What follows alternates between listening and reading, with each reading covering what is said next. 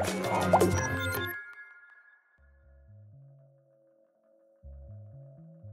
up, everybody, and welcome back to another episode of the Gen Report. I'm your host, Pablo, and joining me, as always, is Mr. Brian Schultz. Brian, is no longer speculation. We were going to do a show about this, and we didn't actually think they'd do it, Brian, because it would just scream desperation, is the word that most people are talking about right now. That is the word of the day. Got it. And there were some announcements, obviously, uh, San Diego Comic Con, Kevin Feige on the road, and the gang. Um, some announcements that people were waiting for. This was obviously sort of a shock, but uh, I haven't been keeping up. Brian has been keeping up with the updates uh, on what's been announced, what hasn't been announced, what people are expecting, what ha- what hasn't happened, uh, what won't, what won't happen, I guess. So, uh, Brian, could you go down the list of things that were announced? Uh, look, look. Let's not bury the lead. Let's talk. Let's talk about Avengers and then go in reverse because I don't know if anything else really matters. Um, we can get to that because a lot of the unclear, uncertainty, chaos stuff around the schedule. I don't think any of that got resolved. So we'll talk about that hmm. because that's interesting. But let's talk about the the big news. So we get official confirmation. Joe and Anthony Russo are back. They are the directors of Avengers 5 and 6. Avengers 5 has been retitled Doomsday. So that should tell you all you need to know. So what was Kang Dynasty is now Doomsday and then they had kind of the disciples of Doom in a bunch of hoods, brown robes and hoods on stage and out came Doom in sort of his green getup and mask, and the actor pulls off the mask, and it's Robert Downey Jr. saying, New mask, same task. Officially back, but now back as the villain for Avengers 5 and 6. So yeah, let's do let's deal with it. Let's deal with all the ramifications. Okay. If it's a variant of Tony Stark that is a, a, a Doom, your feelings towards that possibility? Um weirdly I probably like it a little bit more because it kind of leaves the true Doom on the table, You and I agree. but it also precludes the real Doom from appearing, I feel like, in the near term. Um just because RD the shadow of RDJ is so big. And so his portrayal, however he takes this, right? You're talking, I mean, Academy Award winner Robert Downey Jr., right? However he takes this is a huge deal and is going to be viewed as a standard of sorts. However, he maybe he has it in him because he's a brilliant actor, but he does not embody the Victor Von Doom that I envision. so I think that's a huge question but I do like it a little bit more. And I think it actually becomes a little bit more of an obvious, desperate commercial play mm-hmm. if he's a variant of Tony Stark than if he's mm-hmm. Victor Von Doom. Because Victor Von Doom, I think I'm completely out if it was that. If it was that, Brian, I'm going in there with skepticism, quite frankly. I'm going in with skepticism regardless, but Certainly. But the fact that is if it's Victor Von Doom, I'm going there not in not in it at all. Because it's like, really, yo? Him? And it's like there's no you can't get a real you mentioned it before, Brian. I, I think it's you, brilliant. I also told you when Kevin said that on the podcast, he had signed somebody big from the OGs already. hmm and it's him. This is it. He clearly said the, the Hugh Jackman Wolverine template. This is it. Like they're gonna keep doing this. I I don't think what Chris Evans spoiler alert, I don't think what Chris Evans did just this past weekend is the only thing where he's gonna be doing in his No, comeback. certainly not. So I think you just start right now. Chris Hemsworth, Tom Hiddleston, Scarlett Johansson, Jeremy Renner. Just go down the list of every, you know, Avenger major actor that we've had and just start going through like who else are they going to play? Cuz they're all going to come back as some variant of themselves or another character, whether we like it or not. If Star Wars couldn't grow past the Skywalker characters, Marvel might be showing that they either don't want to or don't believe they can grow past the original iteration of actors that they used to bring this universe to life. I think they're under the impression or the illusion or the frustration of feeling that they have no choice but to go back to the OGs because they know that what they got right now ain't gonna cut it, Brian. That's the that is the reality. The OGs had to come back. Now, having RDJ come back, Brian. And I hope that show that we did, Road to RDJ, gets a little bit of more traction as to what we thought. Yeah, you have a show literally titled Road to RDJ. We talk about with this on the pod where he drops on the podcast, and here we are a couple weeks later. RDJ is officially back as, in a new capacity. My approach, or some would say many people's approach who have thought about um, introducing Doom, uh, and I've mentioned it before, Brian, on the show, and I think I sent you a link, Brian. I don't know if you ever had a chance to look at it. Uh, is the Books of Doom, uh, where he simply is being interviewed. He's being interviewed, uh, and he's telling his life story, and it's a great read, and it's a series. And I thought that would have been an appropriate uh, way to introduce Doom so that when we get to a Doom movie, we know who this guy is, what, what he's about, how slick he is, and all the things that make Doom Doom. So when he meets the Fantastic Four, his defeat is is like Doom is just not that easily defeated. He's the guy that just keeps on coming, and he's not a one and done dude. He's a Thanos level dude, Brian. And this right here is just a show. Yeah, this is the this is the this is the Deadpool and Wolverine playbook. On the one hand, I don't totally blame the studio. Like they are seeing their cash cow dry up before their very eyes. They are mm-hmm. desperate.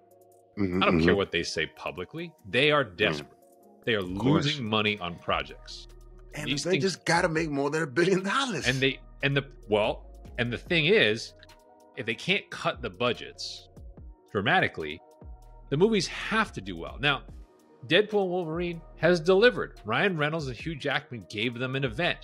To put in perspective, the pressure that was involved there, and it leads back to this discussion. Remember, Deadpool 1 is a $50 million budgeted movie that made $730 million. There's a lot less pressure when your budget is $50 million than the reported $250 million that Deadpool and Wolverine carried for its budget. So, yes, that movie now looks like it's probably going to get to a billion dollars, but guess what? It kind of had to get there or pretty darn close for the project to be profitable. They don't want to cut budgets on Avengers movies. They'll cut budgets elsewhere. We know they cut it for Blade. They're going to cut, or if they ever make it. But Avengers movies, they want to spend, you know, yeah. and signing the Russos is sort of a concession to we're willing to spend.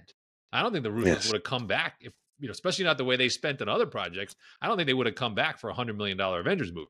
So that, they're yeah. going to put $300 million a piece in those movies, probably, which means those movies have to be billion two, billion five, two billion. That that's the range. And, and the reality is, when you announce Russo brothers back, RDJ back, I can't quantify for you what that means, especially in terms of opening weekend box, but it's not small. Like if I'm being no. honest, it's probably what 200, 300 million dollars they probably just automatically added.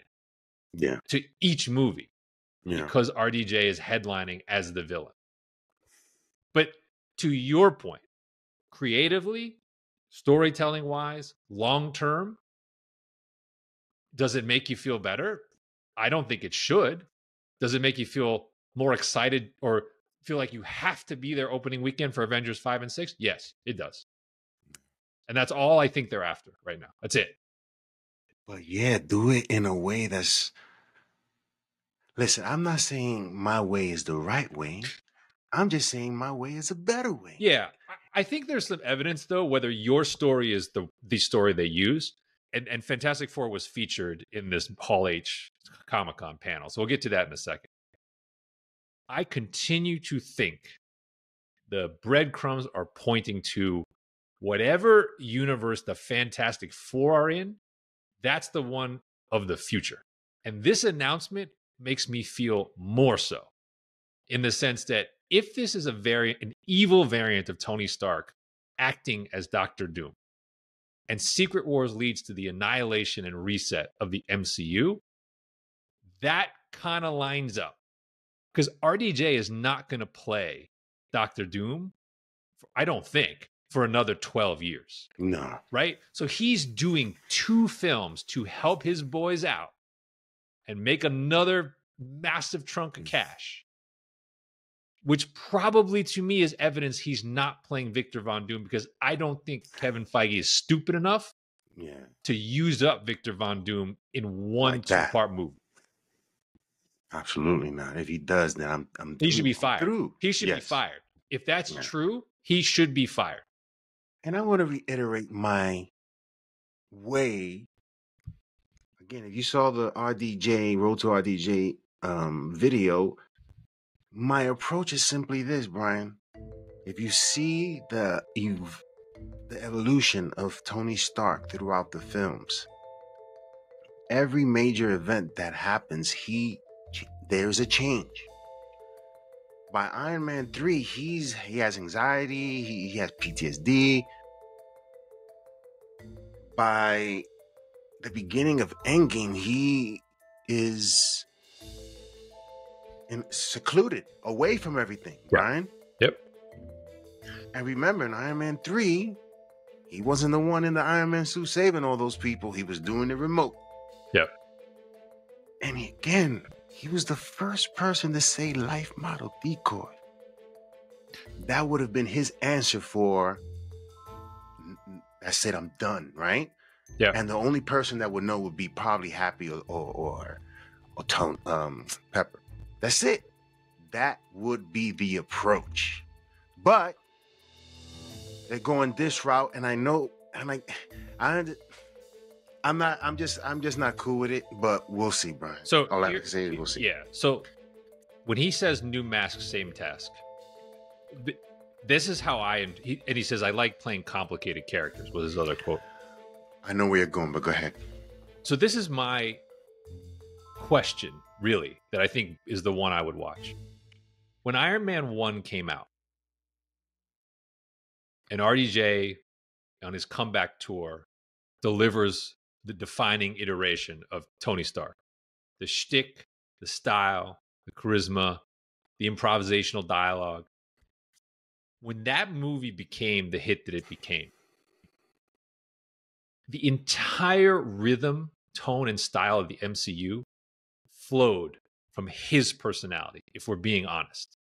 Yeah, If you if you think about it, the through line to every single Marvel movie is really the personality of Robert Downey Jr.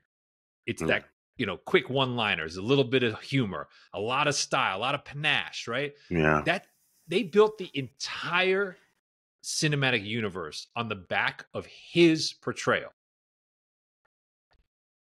When he says new mass, same task, that's the standard that I hold him to. And if he pulls it off, he should actually probably win another Academy Award, even though they'll never nominate him for it. but what I mean by that is Marvel needs a tonal shift. They absolutely do. The same thing is not getting people to the box office anymore. yeah. if he pulls this off, even if it's as Tony Stark from universe whatever, hmm what I want to see, I don't want to see any resemblance to 616 Tony Stark. I want to see Robert Downey Jr. in his Academy Award winning bag doing something entirely different tonally in terms of dialogue, in terms of mannerism. And if he pulls that off, my expectation would be that the MCU might again pivot toward whatever style he imparts in the role. And I wonder if that's why. You know, so if I'm making a case for, that's the case for from a creative standpoint, bringing the actor back. That wasn't what I thought you were going to say, but this is what I think might happen. And all of you said is true. I agree. But I think the approach is what if he actually succeeded? Because think about Ultron, what he was trying to do there. What if he actually succeeded? And he's the one in that universe uh, that has accomplished that task of putting a shield around the world, or whatever the case may be, right? Mm-hmm. And he's and he's playing. That's what I mean. Same, ma- uh, different mass, same task that's what it points my mind towards what he wanted to accomplish and perhaps in this universe he does i think it's a great point i mean in in, in effect they're riffing on loki right this is the we're going to pick a point in the timeline that you're familiar with mm-hmm. and then this other part of the multiverse that tony stark took the fork in the road the other direction yeah. right and whereas loki was redeemed in his tv show this Tony Stark fell from grace into supervillainy. Has has has there been a comic where Tony Stark has played Doom? Good question. I don't know the answer. We know there's evil Tony Stark, but I gotta ask Tracy. We know there's evil Tony Stark. That was the one that Tom Cruise was rumored to be. They were remember they were talking about cameos for him. Yeah, there was that version of Iron Man in that was supposed to be in Doctor Strange too. That was the evil version. Um, but as Doom, I don't in the in the classic green costume. I'm not familiar with that. I'm asking him now. But I mean, response. let's now let's step back and go through the creative, the, the realistic commercial version of how we got here, because I think we know how we got here. They this conversation with Downey, we know has been going on for over a year because of Tracy comments. Said no, of course, because of comments he's made, and he's been holding out Certainly. For this ain't this ain't this wasn't a blade. This wasn't Mahershala Ali calling Kevin. No, this was them going. This, this was more like the Avengers in Endgame. To your point, going to the cabin. Except they went to the cabin like twelve times, and they're like, "This time we have a this time we have an eighteen wheeler full of cash." next time it's like this. Next time we got the helicarrier full of cash. Until finally, they probably and he probably said no to all of it until they finally said, almost like um, in the Gladiator 2 trailer, when Denzel asked Paul Mescal, What could I give you that would satisfy? and he probably said, Another character. What about?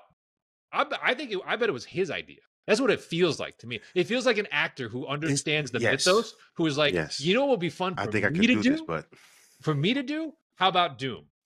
And they said yes.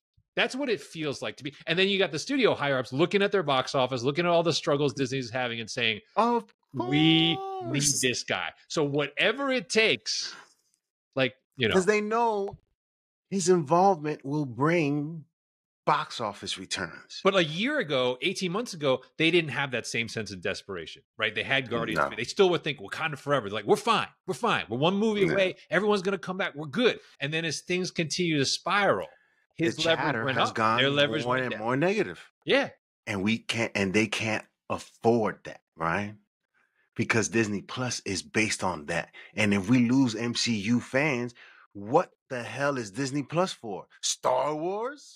that's, that's looking more like it is, and bad Star Wars at that. You know what I'm saying? Yeah. So it's like they can't they can't mess afford they can't afford to mess this up, but they're not starting off the right foot with I think MCU fans and forget MCU fans. It goes because those are dwindling. I'm talking about Marvel fans. I, those yeah. are the ones that know. Like I just asked Tracy, he, it, has has Tony Stark ever been doomed in the comics? He said no, never. Yep. He says that's a that's an MCU thing. Yep. But that's what I'm saying. I think it's a Downey. I think it's Downey. He's like, this is it. Take it or leave it. He's like, you can leave the cash, but leave me the role. And they were desperate enough to say yes. I mean, this entire thing, Russo, Stark, and by the way, Chris Evans is 1000% going to be in Secret Wars. Oh, yeah. Why? Because you know what Disney's gonna they're gonna want to see some of those original actors fighting Robert Downey. They're gonna bet on the emotional weight of last time you saw him sacrifice himself to save all these same actors. This time they're gonna have to kill him themselves. Yeah. Which means Robert Downey's on the text chain because they still on the Avengers text chain. Uh, if it's Wolverine going behind, uh, uh, Oh, Hugh Jackman's in the movie. We know that. But that's what I mean. The- He's they're on the text chain, and he's basically like, "Listen." He's like, "Don't don't say yes to the to the first offer. Don't say yes to the fifth offer." He's like, "You make them give you this. You make them give you that." I mean, these guys are going to be getting back end on this movie like there's no tomorrow. all of them. All of them, and Disney will do it because even if the margin's really thin, they just want it to ma- They want it to be spectacle. in order to But will it be spread classic? into other stuff. Will it What be it what? classic? I don't think so. Deadpool Wolverine is spectacle, great spectacle. It is not classic, and I think No. it'll be the same with Avengers Five. But people are out there, Brian. Like this movie is like. It's But but it became must see. They did it. yes, they made it certainly. must see. it is must see. It is must Yeah, see. But it, is it must see. will it will fade. It will disappear. Endgame lasts. You know, Infinity War lasts. Avengers One lasts. You know, Ultron disappeared. Ultron faded. Right? It's gonna be more like that. I think. Mm. Ultimate. But Oh, when I wa- I see Ultron and I rewatch it, I, I really did. There was some really good moments in that. Uh, but whatever. Yeah. What else, Brian? I don't know. You want to make another show of the next ones? Or you want to just keep going? Let's keep going. All right, so let's go in reverse order of importance. Let's do Fantastic Four. So retro, retro, retro. That would be my like my my take. Is like we they brought the the car, the Fantastic car, on stage, Ah, okay. and it looks very Jetsons. It looks very old. Okay. And then the cast, you know, comes out. They showed a little bit of footage. The only thing I noted really from the footage was at the very last shot, you see like the eyes of Galactus apparently looking through like a building at them. Other than that, listen, it's still pretty early in the process. Um, Sure. but you know there was a lot of converse. I will say this: there's a, there's a there's a shot of the four of them not in costume. Um, and I will say the way they've got Joseph, I don't know Joseph Quinn as an actor that well, but the way they've got his hair cut and like his face when he's he's pretty much bald or like with a little bit of buzz, mm-hmm, almost like Chris mm-hmm, Evans' version of mm-hmm, Johnny Storm back in the day, not the one in Deadpool. He does look related to Vanessa Kirby. I was one thing I was like, if you look at the shot, they kind of look believable as Yeah, siblings. Brother and sister. Yeah. I will say, Pablo, though, you continue to be on an island. I look at that photo. I'm sorry. I, I, I- don't want this to come out wrong. I just don't buy Pedro Pascal as the smartest man in the world. I just don't see it We in the photo. see. I don't see it in the photo. Shall see. We shall see. I still have faith. So that's Because I, what they. I think. I think he's just a brilliant actor. That's what I think, and I think he can do it. Uh, but we shall see. So they gave a little bit, a little bit of teaser, did that, but really that thing was this idea of '60s. They're really, you know, it almost the the themes they seem to be pushing was almost kind of like WandaVision in a different way. Maybe those first couple episodes were like old school TV. Like this felt a little bit like that. To like we really want you to know this is a period piece. So you believe the visual aesthetic of it, with regards to color palette, lens being used, that sort of style. You think Yeah, I would not be surprised if if, if that would be interesting the to earth see. whether whether the earthbound stuff will have sort of a, a, a vintage look and then even space i mean if you think about it in the 60s here there was a lot of space right? 2001 is a 1968 movie. It lost in space was on tv so you know star trek is in the late 60s original series. So i don't know if they're actually going to go for something that sort of looks like a modern version of that appearance but it wouldn't surprise me. It really feels like they want to push that as a theme. Again, I'm going to reiterate my distaste for wanting to get Galactus back in the fold and this version of the Silver Surfer. but that's changing now right isn't there a rumor she's out already Well, it's more like a uh, not that she's out, but it's like it's a one and done. Oh, she's only doing this movie? Correct. Okay. Yeah, because I saw that I- the rumor. Yeah. She, okay. Which is also weird. So Because I think it's only meant for this, and again, it's so it sort of sounds like a redo of the the um, Rise of the Silver Surfer. Really, like what is she gonna do? Is she gonna thwart Galactus's attempt at, at, destroying, consuming the Earth? Well, that makes me suspicious that Norrin Radd is going to be at the end of this movie, then, right? Doesn't it? If she's one and done, doesn't it make it? doesn't it make you think that like I don't, I, she's not I the don't, real surfer, she's like the prelude surfer, and then the real surfer is out there, I don't know. or they're just maybe he's not in the movie, but they're holding him back, and he is going to be Certainly, they're holding him back. He's coming, like he's like the Yes. yeah, I hope to see Zenn-La and because Zenn-La, if you go back to I don't know the comics, but in the cartoon, uh Zenn-La is a one and done sort of I would say utopia of a world that you only see once and is whisked away as a punishment. right. So I don't see why they couldn't go that route, Brian. It shouldn't I, I like I don't want to be earthbound all the time. Why? Yeah. we did this with Galact um Guardians of the Galaxy. We you know, I mean, we went to we went to a sort of Earth, right? Yeah, But it- it wasn't Earth. We knew it. We knew that it wasn't Earth, and Right. that's what I want to see. I want to see different places. I don't see why they can't do that. Why I gotta be Earth? Yeah. So this comparison to why Rise of the Silver Surfer, the only difference is that we're gonna probably see Galactus this time. Yeah. And that's my concern. Let's see. Yeah, I agree. What's next? Uh, so they had Thunderbolts gather on stage. They showed a teaser. I didn't really garner a lot from that. Um, there was some good banter and humor. David Harbour showed up in costume. No one else did. And he's like, guys, didn't you get my email? We're all going to dress up. That was pretty funny. Um, but I still felt like, you know, if I felt like even in the not seeing all the presentations live, but just kind of feeling the progression of these presentations, Thunderbolt still feels to me like the small, small scale, you know, kind of relative of all this, right? It's like they had Cap Four before it, they had Fantastic Four, and then the Avengers and RDJ after it, and kind of is like you're really trying to, you're not really doing a good job of making me feel like this is a big deal. And, and that's still how I felt after the panel. And I did not see that the particular teaser for this, but I think the task is very tall for this to be relevant. And like, you know, like I'm hearing, uh, I forget her name, the, the actress who played Ghost in Ant Man 2. And like, she's going through, like, oh, here's where we find Ghost. And I'm like, does anyone care where we find Ghost? like, I don't care. It was a forgettable character the first time around. Why do I care, like, where what you're up to now? Like, it's just like That's fi- why you're- this you're filling a roster spot, man. It's like, you know, then Cap 4. So, Cap 4 they obviously built it around Harrison Ford, who kind of Mhm, hammed it up mhm, on mhm. stage and pretended Yeah. to Hulk out on stage and all sort of Yeah. thing. But they added something, and it's interesting. I saw the trailer for Cap 4 in front of Deadpool and Wolverine, and it's slightly different than the one that's online. There's like a little bit different so? beat. Uh, a couple more shots of Isaiah Bradley like fighting in his like Yeah. in his Mhm. attack scene, and then there's a little bit more dialogue um, throughout the course of the trailer with Sam Wilson and Ross.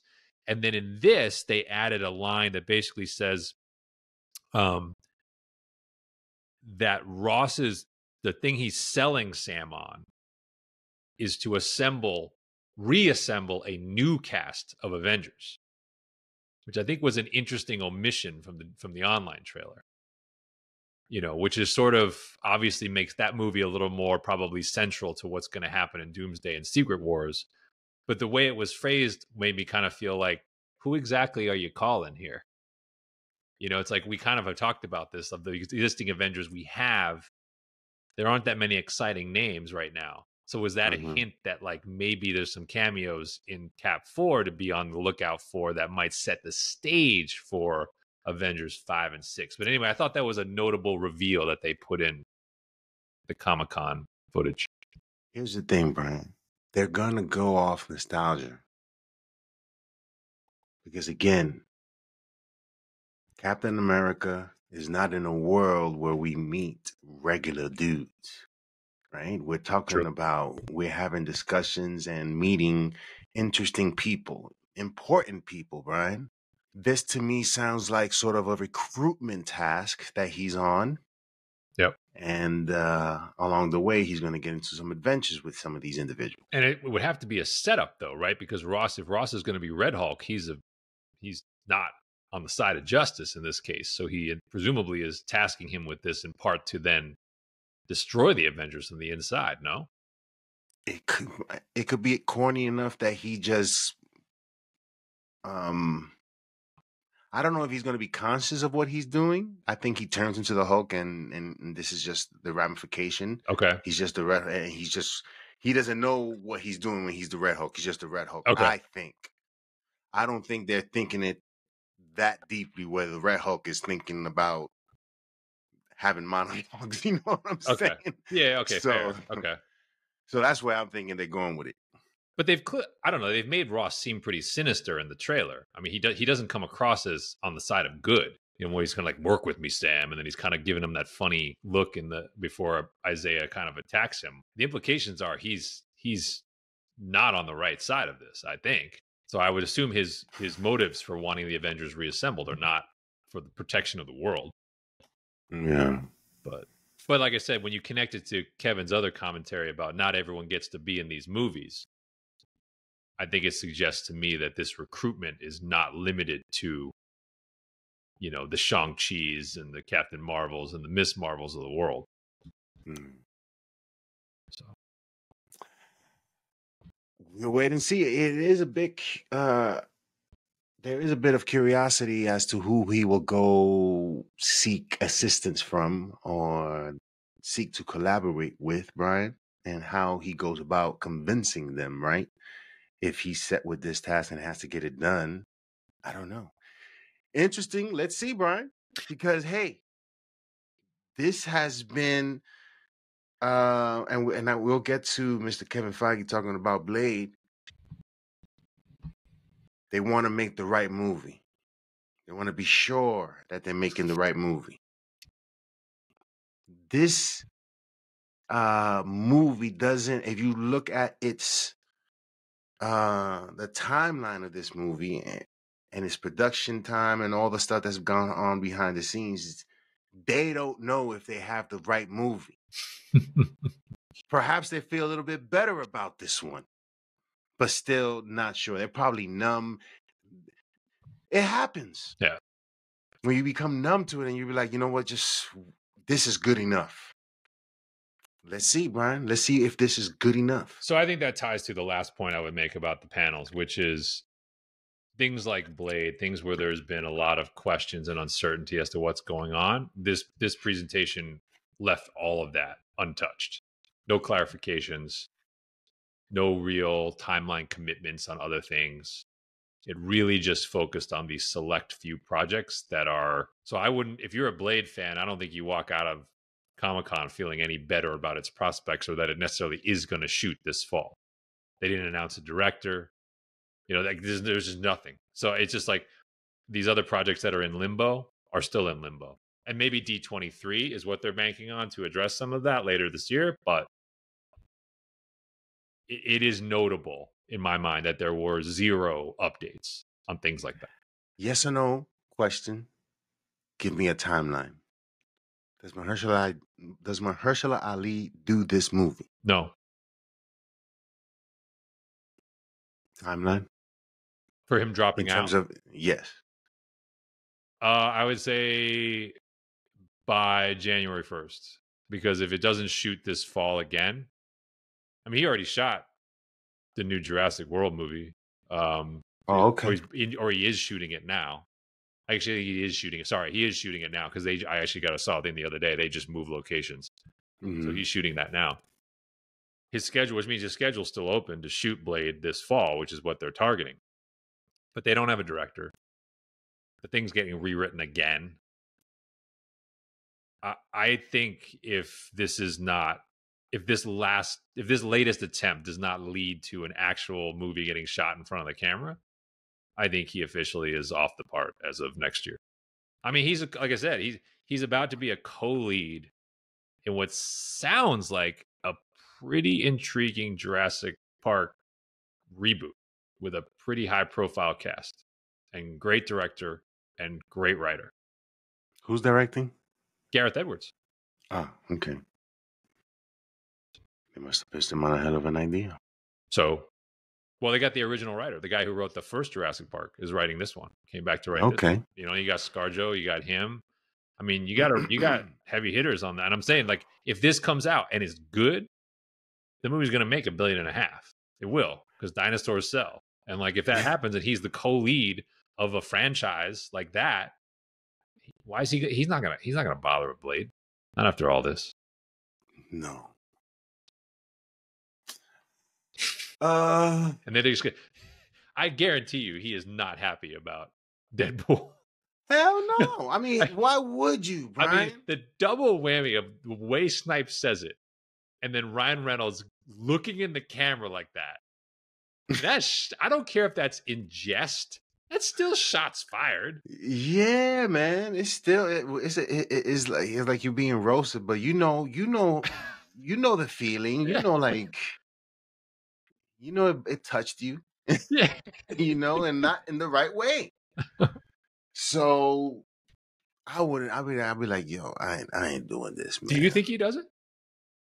No, and I think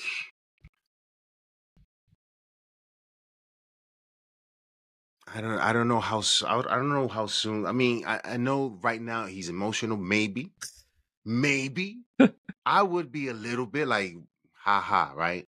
You know, all and we still don't got a director. We still rewriting this joint. It's been five. There's just too many things that you can point to to be like, yo, enough is enough, yo. You know, this is not where I need to be right now. You know, and and they already they're trying to push this replacement on me. You know what I'm saying? And I haven't even so it's like for what, yo, for what?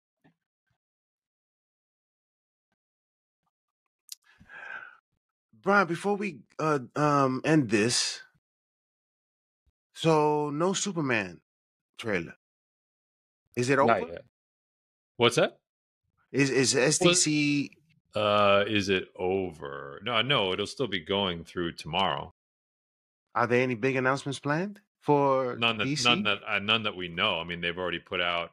They already did like Penguin and Creature Commandos. There's more. There's more TV stuff that they put out there. So no, not yet.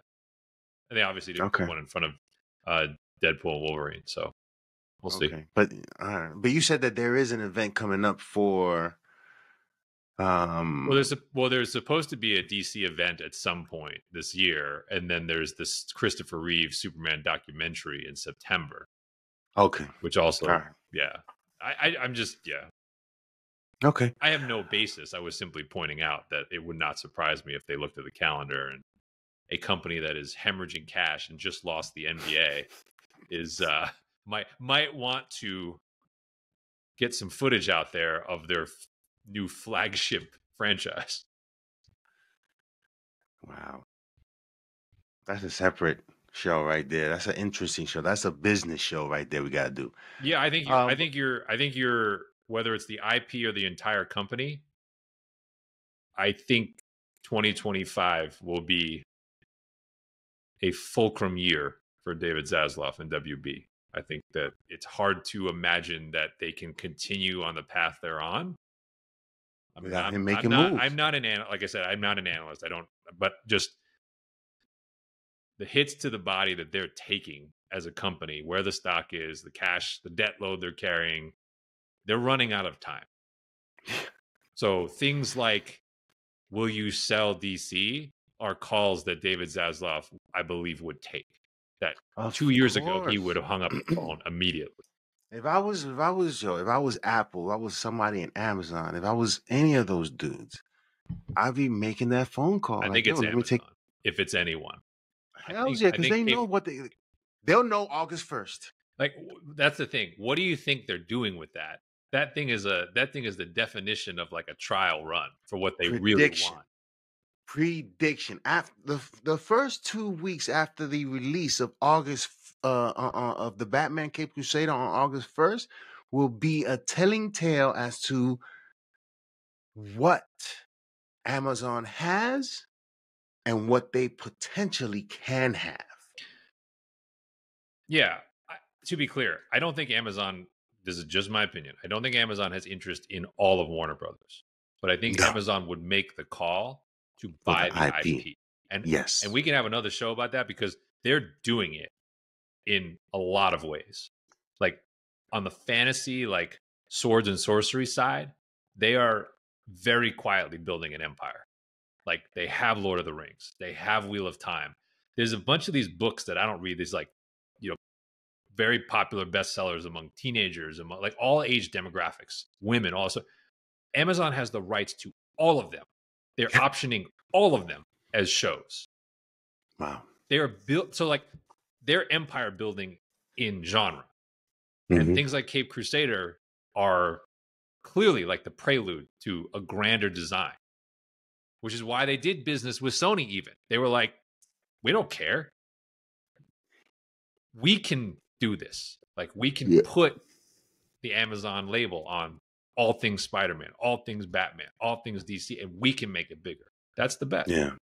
That I mean, I've been talking about that for a long time already. It ain't gonna probably be a hundred billion dollars, but it'll it'll be a big number.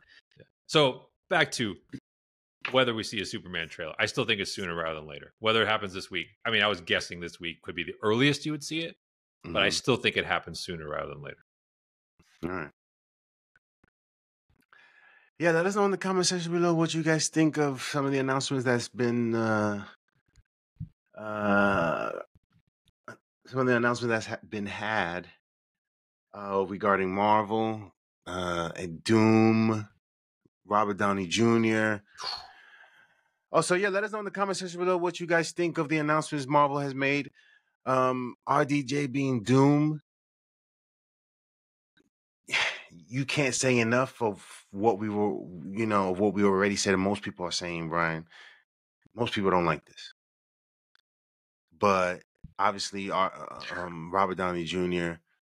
Uh, wants to take on a role and do something different, and it is totally believable. And I, I think this is that is how it went down. He told he told Kevin or spoke to whoever and said, if you want me back, this is what I'd like to do. And they're like, yeah, I mean, we're bringing the Russos back. We're going to bring everybody back because the gang you got right now cannot get you to the promised land. I'm sorry. Nope. I don't think you get them to the playoffs. Um, playoffs. Um, so you said most people aren't going to like it. I gotta. If we parse the the audience, the the nerds, people like us, Yeah. I think that's what you're talking about. Generally, Yeah, yes, uh, yeah. I. I want to draw that line between the casual audience that got on board for the end game ride. What do they think about it? Are they excited because it's RDJ back in a Mar- in a in a Marvel role like RDJ Marvel villain? Does that get the casual person interested? Because that's what gets you to three billion dollars, two billion dollars, right? It's not the hardcore fans. regardless of the fact, Brian, this is the this is just a I think is a fact. RDJ brings the bucks. This dude could have came back as anybody, I agree with and that. people were going to be excited and see just see what he does next with this, Yeah. right? I agree. I think I, I, so I actually think the the artsy critics community will hate this, hate it, because I think mm, they're going to say he- he spent way too long playing Tony Stark when he could have been doing roles like Oppenheimer. And we got the role in Oppenheimer. He wins the Academy Award, and what does he do with this newfound fame and notoriety? He goes right back, Back to the- MCU. So I actually think it's going to be this separation of different fan groups who are in who are either intrigued or There's gonna be factions. There's gonna Yeah. be factions. But I think overall, I think the the majority of all the factions is a negative um sentiment towards announcement. And I think if you see the first footage of Doom, and if he comes off as just like he's riffing on the Tony Stark we know and love, I think I'm- everyone will be out. I'm- everyone out will be now. out. I'm out now. But I'm gonna see. I'm, gonna- I'm gonna be. You know how people like they. There's a crowd forming. You just peek around to see what's happening. You know, and and and you No, just what- walk away. No, no, You we're, know what I'm yeah, exactly. No, right? this type of stuff right now, because we're in like the rubbernecking crowd. We're in the like, you see the smoke coming up from the wreckage. You slow down. If it's big enough, you slow down, right? Like, what's going on over there? There's a lot of Exactly. sirens. There's a lot. There's a lot of. There's a lot of bad stuff that happened. Exactly. Yeah, that's kind of where we're at now. He's they got to tell us that what we're what we're what we're driving past is actually not wreckage. That it's actually salvage. We'll see. Yeah. Yeah, let us know what you guys think of all the Marvel updates, and uh, we'll see you next time on the Nerd Gen Report. The show goes on!